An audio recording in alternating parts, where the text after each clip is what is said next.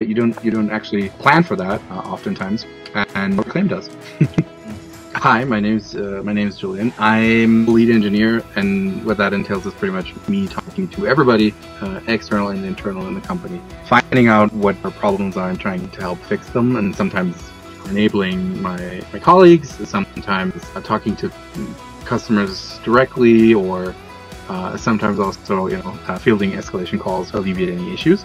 So I've got a lot of meeting pressure basically in my calendar, right? And then still uh, a lot of deep focus work that I also need to do, um, so we can actually get some of the problems that I talk about and get them addressed as well, right? Get them actually solved. So it's always sort of a struggle finding finding the balance basically between uh, focus work versus talking uh, talking to people.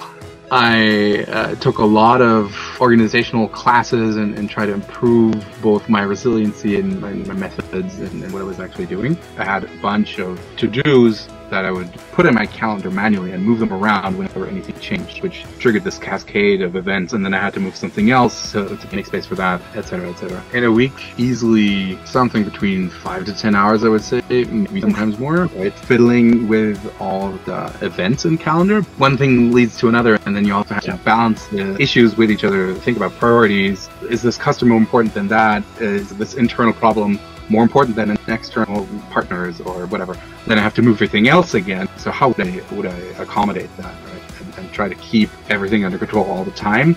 It was a lot of you know mental load in addition to the actual time I was spending. I would say, and uh, that is just something I've offloaded basically. so smart meetings are really really cool because I can just sort of set them and forget them, and then if there is an issue, it comes back to me, right? I can configure them to uh, stay on my calendar, and I really like that feature. I do a lot better with honoring my agreements uh, internally, like the, the one-on-ones with uh, team members. That's much easier to handle now. I just have a different time slot, 1 p.m. to 10 p.m. or something. I've assigned that to sort of deep work. I will use that for tasks specifically, right? Uh, in contrast to any of the meetings and, and, other things, which is exactly what I want, uh, without me having to manually move, pull them around and, and uh, fit them into my private life sometimes and, and all.